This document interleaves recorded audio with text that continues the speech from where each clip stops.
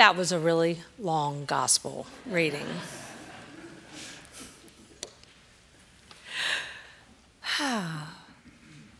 this past week, I took the advice of some of my local Austinite friends, and I left town for spring break to avoid the South by Southwest crowds. And I joined the thousands of Austinites and headed to a little place on the coast, affectionately known as Port A. Ha ha, the joke was on me because everybody was in Port A. I once was lost, but now I'm found. Was blind, but now I see. As we, my family and I were driving to Port A, I couldn't help but think back to where we were three years ago. Three years ago, like most of the country, I was busy preparing and stockpiling snacks. Probably was a little worried about the toilet paper that I was worried we would run out of. And I prepared myself for a brief lockdown, an extended spring break, if you will. And being from Louisiana, I love a good hurricane, so this kind of felt like a bit of a hurricane party, the beginning of the pandemic. pandemic. But what we know now is that that was just the beginning.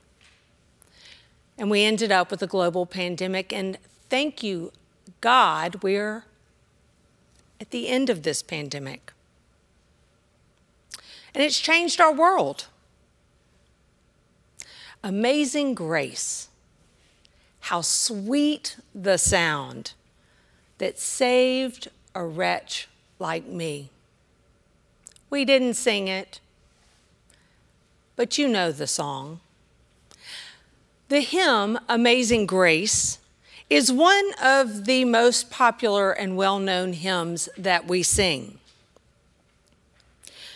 Some of you may not know that Amazing Grace was written in the 1700s by an Englishman named John Newton. And John Newton wrote Amazing Grace as a response to an encounter that he had with God. And this encounter changed his life. Changed his life because it was a testimony to his faith, the saving grace of God. Because you see, John Newton had a story. John Newton, John Newton's mother died when he was a young man, a young child. And following her death, he had to join his father on a merchant marine ship. And so, as you can imagine, his childhood was less than idyllic. And as he grew into adulthood, Newton struggled to maintain relationships. He tried to desert his crew of a ship at one point, and he was kicked off a ship, and he was captured by slave traders off the coast of West Africa for leaving the army. And he eventually escaped captivity only to eventually become a slave trader himself. John Newton, by all accounts, was probably not someone that we would look up to. But you see, there was a storm. John Newton experienced a storm on the sea, and this storm threatened to drown him and his entire crew. In facing his own death, Newton cried out to God, and God answered. Because John Newton encountered the divine, and his life changed. Newton had a conversion experience. But this conversion experience didn't happen overnight. In fact, he continued to work into the, in the slave trade. And it wasn't it was 34 years later after he had retired from the slave trade that his heart really changed. He published a pamphlet entitled Thoughts Upon the Slave Trade, in which he described the horrific conditions of the slave ships during the Middle Passage. He apologized for a confession he said came too late. And he wrote in his journal, It will always be a subject of humiliating reflection to me that I was once an active instrument in a business at which my heart now shudders. The lengthy story of Jesus giving sight to a man born blind in John's gospel is not just a miracle story. The healing of the man born blind isn't really the point. It's not really about Jesus restoring vision. It's a story of relationship. It's a story of redemption. And it's about our identity when we tell the truth about who we were and who we have become through Christ. It's about an encounter with God. And you and I, we have these encounters all the time with God, right? Sometimes they aren't a real big deal. Sometimes I like to call them God winks. The little signs, a text from a friend at just the right moment. Perhaps the fields of gold flowers on a Texas highway with little pockets of bluebonnets spread amongst them. And then there are the encounters we have with God that change everything.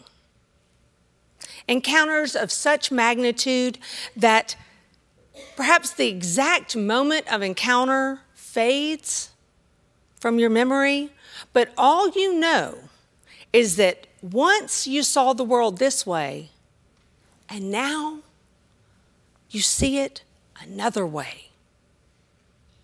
You might not even be able to explain how it happened, but you were changed.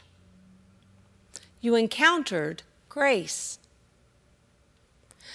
Encountering Jesus is often messy. It's often filled with holy spit and mud. And it's when our heart vision is blurred by the mud in our eyes and the emotions that come with that that we encounter the holy. And this isn't just for us. We also doubt the parts in ourselves that we don't see as holy. And what about those who, who we fail to believe can change? The ones who have disappointed us so many times. We wonder if it's even worth trying. What about those whom you have ignored because you couldn't see past their disability? What about those who you have disassociated with because their political views or morality don't look like your own? And what if all of those questions are questions that you ask of yourself? What if that person is you? Today we read Psalm 23. And it's really the missing piece of the gospel message today. Because in Psalm 23, we are reminded of who Jesus is and who we are to Jesus. Jesus is the shepherd. We are his sheep. He is both our protector and our comforter.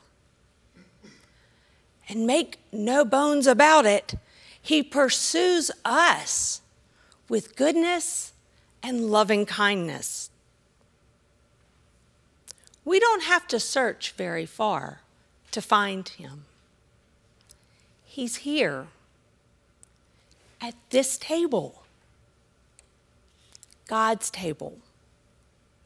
And in a few moments, when we come to the table, I invite you to bring with you your doubts, your fears, your pain, and your sorrow. And in return, you will receive amazing grace. For I was lost, but now am found, was blind, but now I see.